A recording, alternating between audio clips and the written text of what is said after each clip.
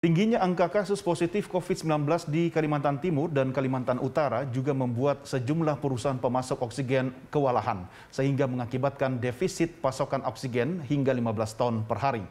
Saat ini kebutuhan oksigen di dua wilayah itu meningkat tajam hingga mencapai 65 ton per hari, sementara kemampuan produksi hanya 50 ton. General Manager PT Samator Gas Hasan Alwi menyatakan kebutuhan pasokan oksigen untuk rumah sakit di Kalimantan Timur belakangan ini mengalami kenaikan tajam. Sejumlah kebutuhan rata-rata hanya 30 sampai 40 ton per hari, namun kini naik menjadi 50 hingga 65 ton per hari.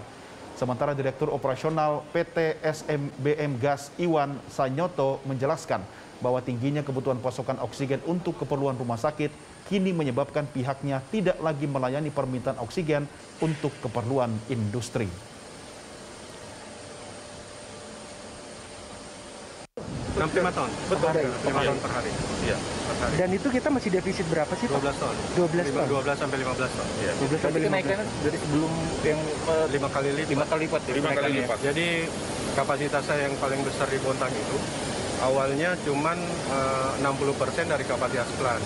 Itu pun sudah melayani industri dan medis. Saat ini khusus untuk medis saja itu sudah full capacity. SBM udah nggak jualan untuk eh, industri, Industri, ya. sampai kondisi benar-benar melandai.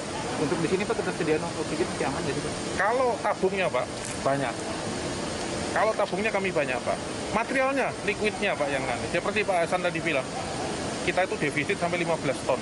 Ya, mungkin kalau kita meluas lagi ke Kalimantan Utara dan Kalimantan Selatan lebih besar lagi.